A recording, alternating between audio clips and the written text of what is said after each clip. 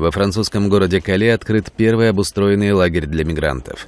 Там разместят 1500 человек, которые до этого жили в стихийном палаточном городке. Это место называют джунглями. На пустыре прямо рядом с палатками установили 125 контейнеров с окнами. В каждом разместится до 12 человек. Контейнеры, которые вы можете осмотреть до заселения людей, оборудованы по-разному. Для холостых мужчин это один тип, для семей другой. Также есть несколько двориков. Есть общие зоны, где можно, например, заряжать телефоны. Контейнеры отапливаемые подключены к электросети. Они будут временным убежищем для тех, кто подал заявки на получение статуса беженца. В палаточном городке Джунгли живет около 4000 мигрантов.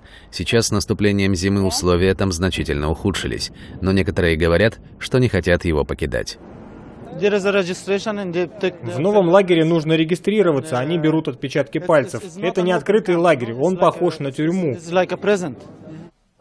Тем временем канцлер Германии Ангела Меркель сказала, что Европа не была готова к миграционному кризису и пока не может контролировать ситуацию с наплывом беженцев. В Европу неожиданно стали прибывать мигранты, и мы оказались уязвимыми. Мы не смогли обеспечить желаемый порядок и контроль.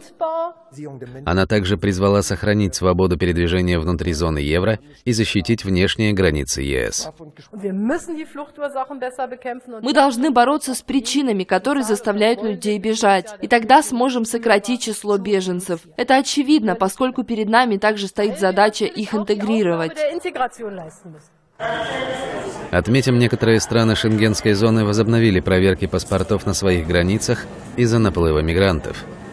В прошлом году в Европу по морю прибыло более миллиона искателей убежища из Сирии, Афганистана и других стран, охваченных военными конфликтами и бедностью.